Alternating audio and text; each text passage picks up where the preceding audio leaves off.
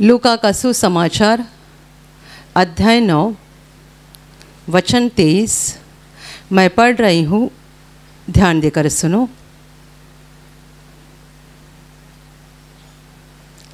उसने सबसे कहा, यदि कोई मेरे पीछे आना चाहे तो अपने आपे से इनकार करे और प्रतिदिन अपना क्रूस उठाए हुए मेरे पीछे हो ले।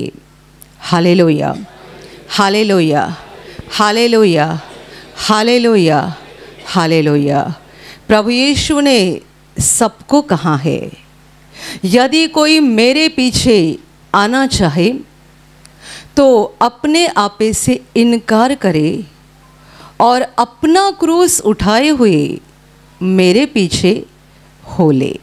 हाले लोया हाले लोया हाले लोया हाले लोया मेरे प्यारे भाई और बहनों, प्रभु यीशु पर विश्वास करने के बाद ये हमारा फ़र्ज़ है, ये हमारा काम है कि हमें प्रभु के पीछे चलते रहना चाहिए, उसके पीछे हो लेना चाहिए।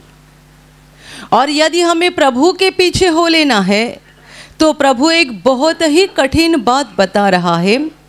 वो बोल रहा है कि यदि कोई मेरे पीछे आना चाहे तो अपने आपे से इनकार करे, खुद का नकार करे, खुद को इनकार करे और अपना क्रूस उठाए हुए मेरे पीछे हो ले। हाले लोया हाले लोया हाले लोया मेरे प्यारे भाई और बहनों, प्रभु यीशु मसीह परमेश्वर का पुत्र, अर्थात खुद परमेश्वर, इंसान बनकर धरती पर आया और पापियों की पाप मुक्ति के लिए क्रूस पर जान दी। प्रभु ने क्रूस उठाया और क्रूस उठाकर वो कलवरी के पहाड़ तक चला गया और जिस क्रूस को उठने उसने उठाया था, उसी क्रूस पर उसे लटकाया गया। प्रभु मरा पापियों के लिए, पापी आत्माओं की मुक्ति के लिए वो क्रूस पर मरा और मरने के तीसरे दिन बाद ज़िंदा हो गया। चालीसवें दिन आसमान में चला गया और तब से लेकर आज के दिन तक यानी तीसरे दिन प्रभु मौत से जीवित हो गया। उस घड़ी से लेकर आज के घड़ी तक यीशु ज़िंदा है और बाइबल कहती है, वो दोबारा नहीं मरेगा। वो युगान युग का राजा है। पूरे संसार के लोग जानते हैं कि ऐसा एक मनुष्य था जो दुर्बल हालत में, कमज़ोर हालत में उसे क्रूस पर लटकाया गया था। और बड़ी दुर्बल हालत में वो क्रूस पर मरा था। दुनिया जानती है।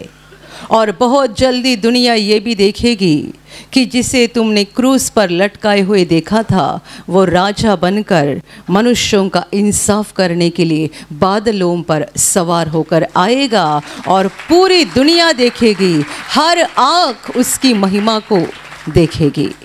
हाले लोहिया हाले लोहिया प्रभु का इंसान के रूप में धरती पर जन्म लेना, मनुष्यों के पापों को उठाना, क्रूस को उठाना, यानी दुख को उठाना, क्रूस पर मर जाना, कमज़ोर, दुर्बल हालत में, बड़ा दर्द और पीड़ा पीड़ा में रहकर क्रूस पर उसका मर जाना और फिर से जी उठना, महिमा के साथ स्वर्ग में जाना। और फिर से वहीं से वो आने वाला है इंसाफ के लिए। पहले दुख और उसके बाद हुई महिमा। प्रभु यीशु पर विश्वास करने वाले हर एक व्यक्ति के जीवन में ऐसा ही होता है। पहले क्रूस उठाना पड़ता है और उसके बाद जीवन में परमेश्वर की महिमा प्रकट होती है। मत्ती के सुसमाचार में लिखा है, प्रभु यीशु ने ऐसा कहा है कि प्रतिदिन अपना क्रूस उठाए हुए मेरे पीछे चलते रहो, प्रतिदिन। हर दिन अपना क्रूस उठाकर यीशु के पीछे चलते रहो। मेरे प्यारे भाई और बहनों, प्रभु यीशु बता रहा है कि यदि कोई मेरे पीछे आना चाहे तो अपने आप से इनकार करे। वो स्वर्ग का राजा होकर भी मनुष्य बना और मनुष्यों की, यानी दुनिया के लोगों की नज़र में एक कमज़ोर, पीड़ित और दुर्बल मनुष्य बना। हालेलुया। हालेलुया। हालेलुया। एक राजा होकर, स्वर्ग और पृथ्वी का मालिक होकर, वो इतना नम्र बना, एक मनुष्य के समान बन गया, कमज़ोर और दुर्बल मनुष्य के समान बन गया। यदि वो ये ना बना होता तो आपको, मुझे और पूरी मानवता को कोई उम्मीद नहीं थी। कोई उम्मीद नहीं थी। हमारे पास ऐसी कोई ताकत नहीं है। कोई ताकत नहीं है कि हम पाप से बच सकते हैं। पाप से बचने की ताकत ही नहीं है। आप जब प्रार्थना में आते हैं वचन को सुनते हैं। बड़ा अच्छा लगता है। बड़ा अच्छा लगता है। और वचन सुनते समय मन में तय करते हैं, आज घर पे जाऊँगा, शराब नहीं पीऊँगा। घर पे जाते हैं, घर पे पहुँचने के पहले ही कोई तो आपको बुलाता है शराब पीने के लिए। वो होता है दुष्टात्मा। शराब का। और आप न चाहकर भी वहाँ चले जाते हो। आप जब ये वचन सुनने के लिए बैठे, तभी आपने ये फैसला किया, आज वचन सुनते समय मुझे सोना नहीं है।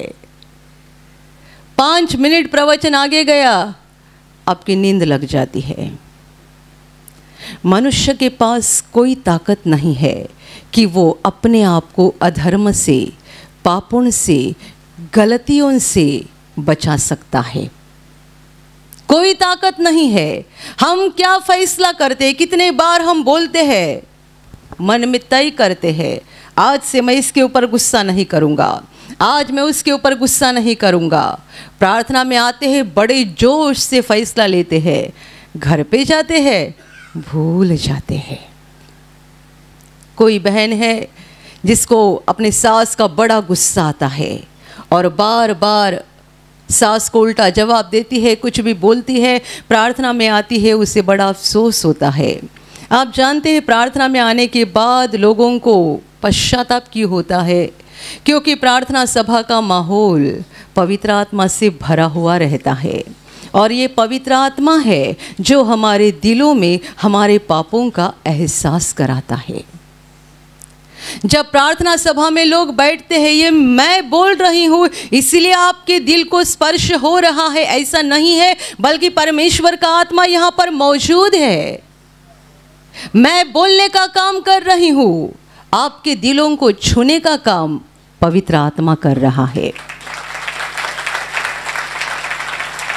इसलिए कोई औरत जब प्रवचन सुनती है, उसे लगता है, मैं बहुत बुरा काम करती हूँ। मैं सास को डांटती हूँ, चिल्लाती हूँ, अपमान करती हूँ। मुझे नहीं करना है। आज के बाद मैं नहीं करूँगी। आज से मैं घर जाऊँगी। मेरी सास का हिस्सा भी क्यों ना बर्ताव करे? मैं सारी बात बर्दाश्त करूँगी। लगता तो ज़रूर है। फैसला बहुत अच्छा किया। घर जाने के बाद देखते हैं, सास ने घर में एक भी काम नहीं किया है। तो इतना गुस्सा आता है, मैं इतने दूर से आ गई हूँ। इसको पता था ना, थोड़ा सा पानी भर देती तो थोड़ा सा घर में रोटी बना कर रखती तो यह है इंसान की हालत। बहुत भले भले कामों को हम तय करते हैं, एक भी नहीं कर पाते हैं। मनुष्य अपनी ताकत से अपने आप को बचा नहीं सकता है। एक छोटा सा फैसला भी हम पूरा नहीं कर सकते हैं। जो आलसी लोग होते हैं ना, हर दिन रात सोते समय सोचते हैं, सुबह मैं पाँच बजे उठूँगा। आठ बज जाते हैं, तब तक ये उठते ही नहीं है। कोई कोई लोग इकतीस दिसंबर की रात को फैसला करते हैं, कल से मैं बदल जाऊँगा, एक जनवरी आएगा, कल से मैं बदल जाऊँगा। हर साल एक जनवरी आकर जाता है, पर ये तो पुराना ही रहता है। साल नया बनते जाता है, पर ये बदलता नहीं है, ये पुराना ही रहता है। आलसी लोग तय करते हैं, हर दिन मैं दस बजे उठता हूँ, ये बेकार है, खराब है। घर के लोग मुझे क्या ताना मारते हैं, बोलते हैं, कल से मैं पाँच बजे उठूँगा, सबसे पहले उठूँगा, सारा काम कर लूँगा, सबको दिखाऊँगा, सबको दिखाऊँगी, कुछ नहीं कर सकते हैं। कुछ नहीं कर सकते हैं।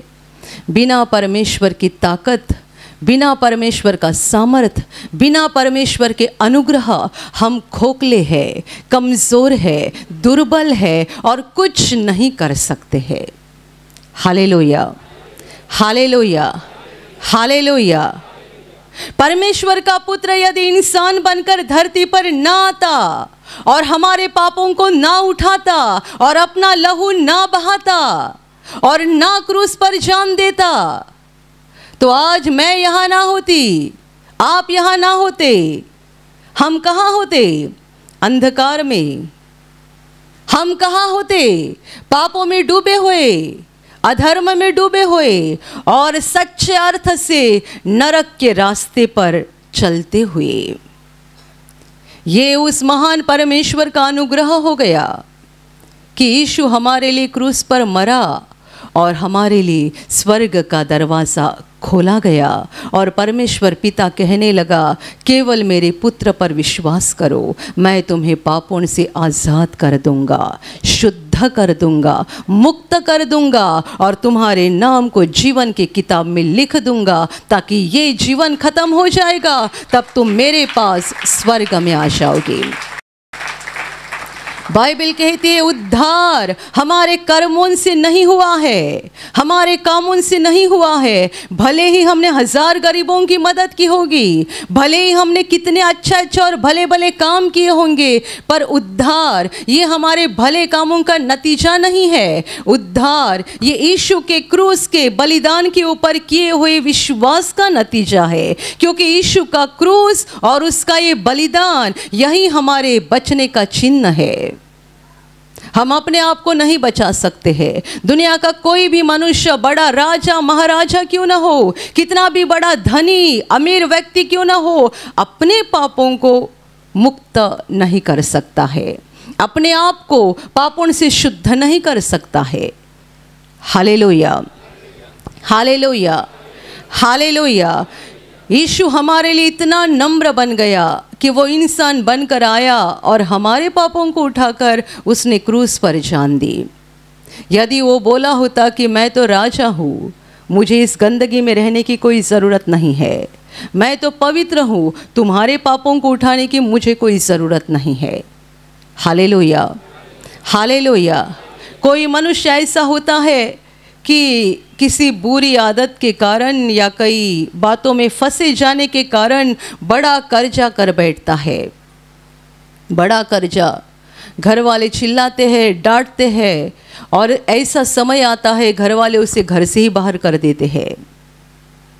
तूने कर्जा किया है ना? जब तक कर्जा अदा नहीं होता, घर में मत आना। परमेश्वर यदि ये बोल देता तो हम में से कोई स्वर्ग में नहीं जाता। पर यीशु कहता है पाप तुमने किया, कर्जा मैं अदा करूँगा। अधर्म तुमने किए, गुनाह तुमने किए, पर सजा मैं उठाऊँगा, दंड मैं उठाऊँगा, क्योंकि मैं तुमसे प्रेम करता हूँ और नहीं चाहता हूँ कि तुम नरक में तड़पते रहे। मैं तुम्हें पिता के घर में, स्वर्ग में लेकर जाना चाहता हूँ। वहाँ अनंत काल की खुशी में मेरे साथ मैं तुम्हें रखना चाहता हूँ। प्रभु हमारे लिए नम्र बन गया। बाइबल कहती है कि हमें धनवान बनाने के लिए, अमीर बनाने के लिए वो कंगाल बन गया, गरीब बन गया। इतना उसने अपने आप को नम्र किया। तो अभी जो यीशु पर विश्वास करते हैं और यीशु के पीछे जाना चाहते हैं, उनके लिए भी ज़रूरी है कि हमें अपने आप का इनकार करना है। ये बहुत महत्वपूर्ण और ज़रूरी बात है। जब तक हम अपने आप का इनकार नहीं करते हैं, हम यीशु के लोग नहीं बन सकते हैं। हम परमेश्वर के बच्चे नहीं बन सकते हैं। हम यीशु के चेले नहीं बन सकते हैं। यीशु का सच्चा चेला या यीशु का सच्चा मनुष्य वही होता है जो अपने आप को इनकार करता है। जब हम अंधकार में थे, तब सब बातों में हम अपना ही भला देखते थे। मेरा फ़ायदा, मेरा फ़ायदा मेरा फ़ायदा, मुझे सम्मान मिले, मुझे पैसा मिले, मेरा फ़ायदा हो जाए, मेरा मेरा मेरा मेरा देखते जाते थे जब हम अंधकार में थे। यीशु को हमने पहचाना है और यीशु कहता है, यदि आप मेरे पीछे हो लेना चाहते हैं तो अभी अपने आप का इनकार करो। अभी मुझे मेरा मेरा मेरा नहीं करना है, मेरा सम्मान नहीं देखना है, मेरा फ़ायदा नहीं देखना है, मेरी भलाई हो रही है या नहीं देखना है, मुझे ये देखना है, मेरे प्रभु का सम्मान हो जाए। मेरे प्रभु की इच्छा पूरी हो जाए। जो मेरे लिए क्रूस पर मरा है, उसे मैं संतुष्ट करते जाऊँ। मेरा अपमान हो जाए या सम्मान हो जाए, मुझे खुशी मिले या गम मिले, मेरे जीवन में चाहे कुछ भी हो जाए, मेरी इच्छा पूरी हो जाए या कई बातें मेरी इच्छा के खिलाफ हो जाए। पर मुझे मेरा नहीं सोचना है, मेरा नहीं देखना है, उसका देखना है। उसकी इच्छा को पूरा करना है, उसके रास्ते से चलना है, जो मेरे लिए क्रूस पर मरा है। हाले लोहिया हाले लोहिया यीशु के पीछे चलना, यीशु के पीछे चलना, यीशु के पीछे हो लेना, इसका मतलब किसी एक धर्म के बातों का पालन करना नहीं है। हम मसीही धर्म के बातों का पालन नहीं कर रहे हैं। ये मसीही या क्रिश्चियन धर्म का पालन नहीं है, बल्कि यह एक व्यक्ति के पीछे चलना है। और वो व्यक्ति साधारण नहीं है, वो परमेश्वर का पुत्र ईशु है, जो हमारा मुक्तिदाता बनकर धरती पर आया था।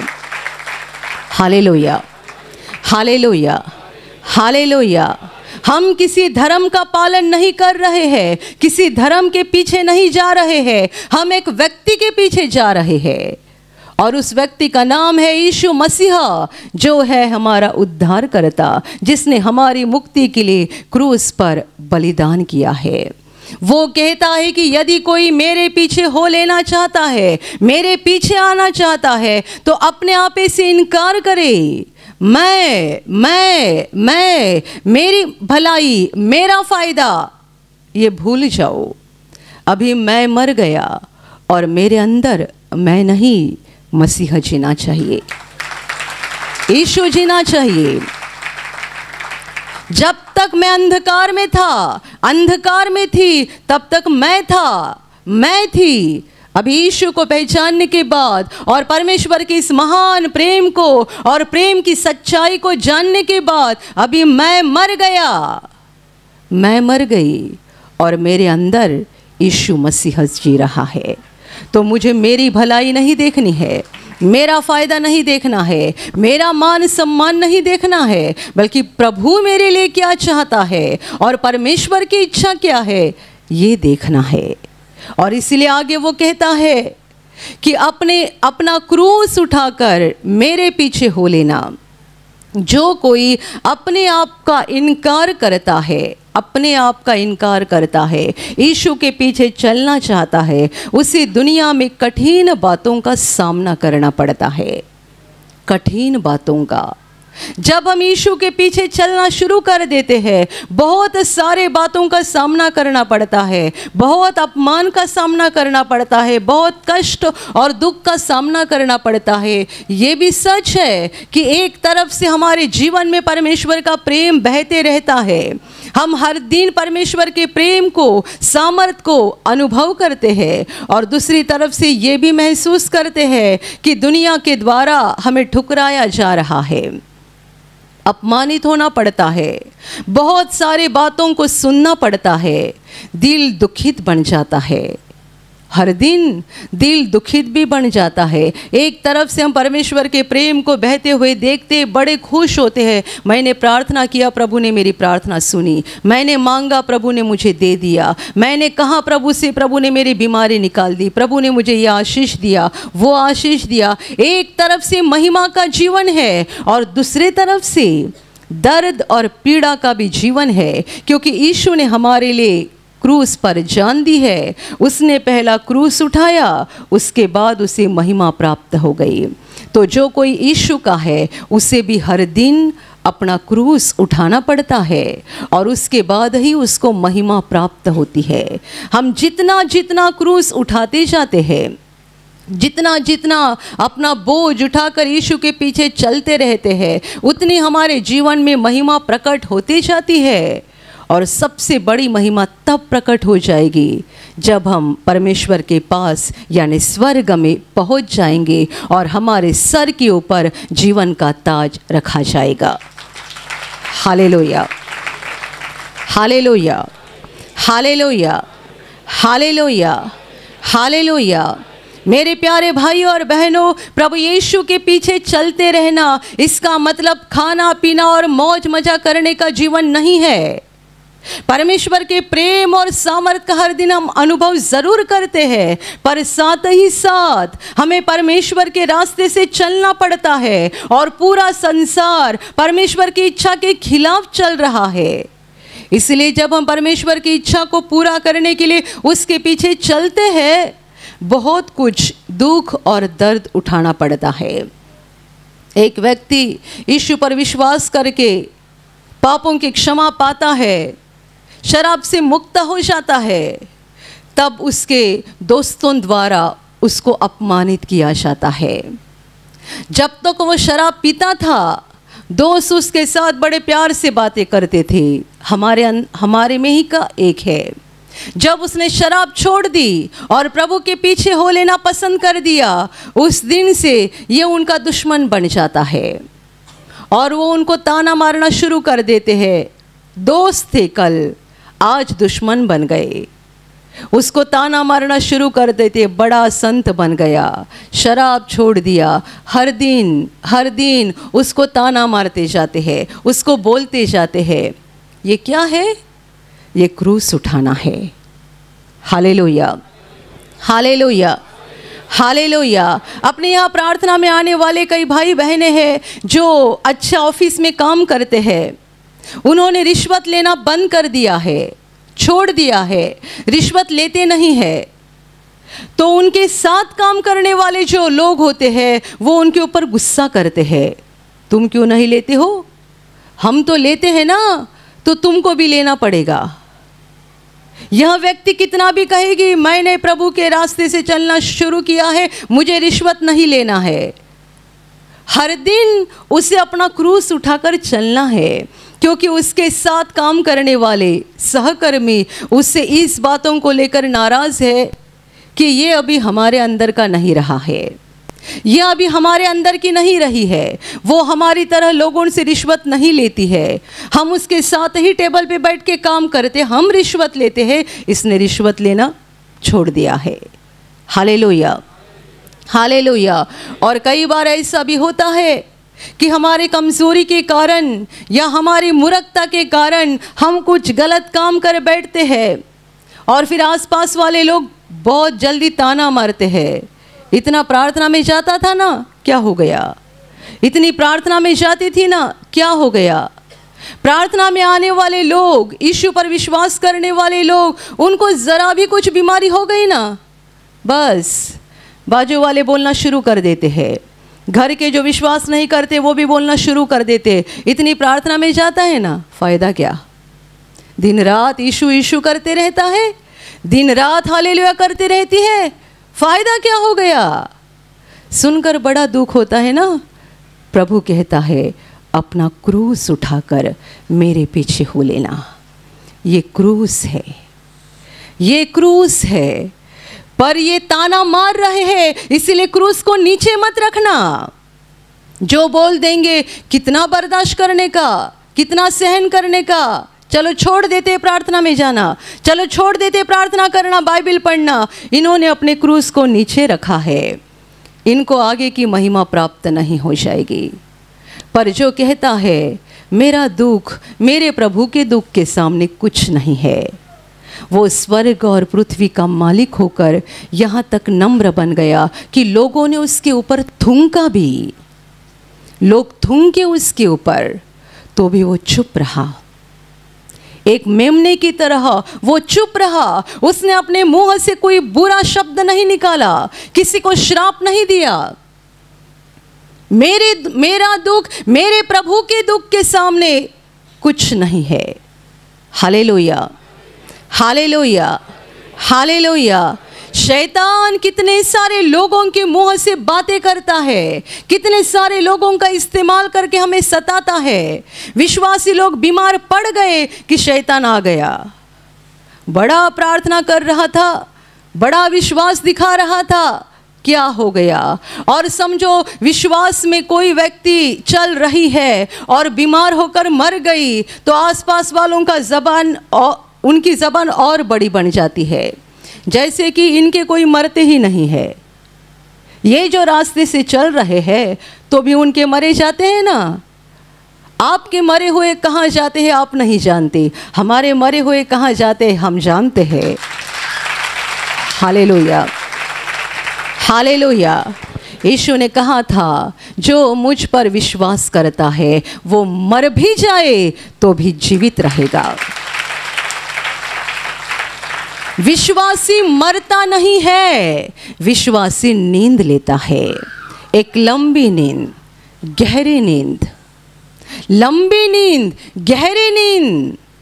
जब किसी के पेट में बहुत बड़ा ट्यूमर होता है ना तो उसका एक लंबा ऑपरेशन होता है। लंबा ऑपरेशन, पाँच घंटा आठ घंटा ऑपरेशन चलते रहता है। ये ऑपरेशन ख़त्म हो जाता है, मरीज़ अच्छा होता है, उसे ठीक लगता है। पर यहाँ तक पहुँचने के लिए उसको एक बड़े, लंबे ऑपरेशन से गुज़रना पड़ता है। हम नए बनने जा रहे हैं। ये मिट्टी का बनाया शरीर मिट्टी में मिल जाएगा। हमें स्वर्गीय शरीर प्राप्त हो जाएगा। हम परमेश्वर के प्रतिरूप के समान बन जाएँगे। हम बदल जाएँगे। हम नए हो जाएँगे। और ये नए होने के पहले प्रभु हमें गहरी नींद देता है। ये लंबी नींद, गहरी नींद होने के बाद जब हम जाग जाएँगे, हम देखेंगे ये शरीर नहीं रहेगा। स्वर्ग दूतों के समान एक नया शरीर हमारे पास रहेगा। जिस शरीर को लेकर हम कुड़कुड़ाएँगे नहीं, मैं काला हूँ, मैं नाटा हूँ, मैं ये हूँ, वो हूँ, नहीं, वो एक स्वर्गीय शरीर होगा, जिसको देखकर हम बेहद खुश हो जाएँगे। अनंत काल हम उस खुशी के साथ जिएँगे। तो उस महिमा तक पहुँचने के लिए परमेश्वर हमें एक लंबी नींद देता है। तो विश्वासी का मरना, मौत, ये सच्चाई में मौत नहीं होती है। ये मृत्यु नहीं होता है, बल्कि यह एक लंबी नींद होती है। पर शैतान कितना ज़ोर से बोलते रहता है, क्या फ़ायदा हुआ? क्या फ़ायदा हुआ? क्या फ़ायदा हुआ? विश्वासी लोगों को दुख इस दुनिया में दुख उठाना पड़ता है, अपमान का सामना करना पड़ता है, बहुत सारी बातें सहनी पड़ती है। एक तरफ़ से हम परमेश्वर के प्रेम को और सामर्थ को हर दिन अनुभव करते हैं। हम देखते हैं कि परमेश्वर हमसे कितना प्रेम करता है, वो हमारे कितने नज़दीक है। हर दिन हम हम अनुभव करते हैं और दूसरी तरफ़ से हमें अपना क्रूस भी उठाकर चलना पड़ता है। हाले प्रभु के महान सेवक भाई डी जी एस दिनकरण ये बात हमेशा कहा करते थे। ईशु पर विश्वास करके जीवन जीना, यानी एक तरफ़ से महिमा का जीवन और दूसरी तरफ़ से दुख और क्लेश का जीवन है। दोनों बातें साथ साथ चलती है। एक तरफ़ से महिमा, दूसरी तरफ़ से क्रूस। एक तरफ़ से महिमा, दूसरी तरफ़ से क्रूस। पर ध्यान में रखना, क्रूस के बाद ही महिमा आती है। यदि बिना क्रूस आपको महिमा मिल जाए तो समझ लेना ये परमेश्वर की ओर से नहीं है, शैतान की ओर से है। बिना मेहनत का पैसा मिल जाता है ना? बिना मेहनत के लोग अमीर बन जाते हैं ना? बिना मेहनत के लोग दुनिया के मशहूर लोग बन जाते हैं। यदि बिना क्रूस किसी को महिमा मिल रही है तो ये परमेश्वर की ओर से नहीं है। और क्रूस के बाद जो महिमा आती है, वो परमेश्वर की ओर से होती है। हाले लोहिया हाले लोहिया इस केंद्र के ऊपर और अपने ब्रदर के ऊपर कितने संकट आ गए, कितने संकट। हर संकट के बाद महिमा बढ़ गई। हर संकट के बाद सेवकाई में महिमा बढ़ गई। क्रूस के बाद महिमा। क्रूस के बाद महिमा। क्रूस के बाद महिमा। बिना क्रूस महिमा पाने की इच्छा मत करो। कुछ लोग चाहते हैं, कोई दुख नहीं उठाना है, कोई बर्दाश्त नहीं करना है, कोई मेरा अपमान ना करे, कोई मुझे ये ना बोले, कोई मुझे वो ना बोले, और आप महिमा पाना चाहते हैं तो शैतान आपको देने के लिए रुका है। अपमानित हो जाओ प्रभु के लिए। यदि आपका अपमान हो जाएगा तो ही बड़ा सम्मान मिल जाएगा। प्रभु के घर में यदि यहाँ अपमान हो जाएगा तो ही बड़ा सम्मान मिल जाएगा। आप अपमान नहीं झेलना चाहते हैं और यूँ ही सम्मान को पाना चाहते हैं तो शैतान आपको देगा भी। वो पल भर का रहेगा। यीशु कहता है, यदि कोई मेरे पीछे आना चाहे तो अपना क्रूस उठाकर, पहला कहाँ है? अपने आपे को इनकार करे और फिर अपना क्रूस उठाकर मेरे पीछे हो ले। हर दिन अपने क्रूस को उठाकर प्रभु के पीछे चलते रहना। अपने विश्वास के कारण, प्रभु के नाम के कारण, हमारे सच्चाई के जीवन के कारण बहुत कुछ दुख, क्लेश, दर्द उठाने पड़ेंगे, पर इनको लेकर डरना नहीं है, क्योंकि हर क्रूस उठाने के बाद महिमा प्राप्त होती है। हर क्रूस उठाने के बाद महिमा प्राप्त होती है। हमारा जीवन, एक विश्वासी का जीवन ऐसा ही चलते रहता है। क्रूस महिमा। क्रूस, महिमा। हर दिन क्रूस उठाओ, हर दिन महिमा पाओ।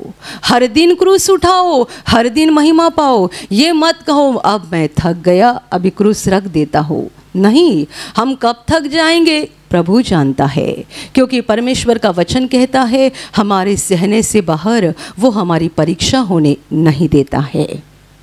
हमारे सहने से बाहर वो हमारी परीक्षा होने नहीं देता है। आपका बेटा कितने उम्र का है, उसी हिसाब से आप उसके हाथ में थैली दोगे। आप कहीं बाज़ार में जा रहे हो, आप सारी थैली बेटे के हाथ में नहीं दोगे। उसकी जितनी ताकत है, क्षमता है, उतनी ही दोगे। तो कभी मत कहना, मैं थक गया, मैं थक गई। प्रभु सब जानता है। क्रूज को उठाते हुए चलते रहेगा। महिमा आती जाएगी और सबसे बड़ी महिमा हमें अनंत जीवन में प्राप्त हो जाएगी। हाले लोहिया हाले लोहिया हाले लोहिया और अभी प्रार्थना करने का समय है। आप विश्वास करो कि एक पल में प्रभु यीशु आपको छूकर चंगाई देगा। एक पल में वो आपके जीवन का दुख निकाल देगा और आपके आंसुओं को खुशी में बदल देगा। क्योंकि उसके लिए असंभव कुछ नहीं है। अनहोनी बात एक भी नहीं है। प्रभु यीशु आज भी ज़िंदा है। 2000 वर्ष पहले वो शरीर रूप में धरती पर था। आज शरीर रूप में नहीं, बल्कि आत्मा के रूप में है। और दुनिया के कोने कोने में जहाँ जहाँ लोग विश्वास के साथ उसको पुकारते हैं, उसके पास प्रार्थना करते हैं, उन सबों की पुकार को प्रभु सुनता है, उन्हें चंगा करता है, उनके आंसुओं को पहुँच देता है और उनके जीवन को खुशी से भर देता है।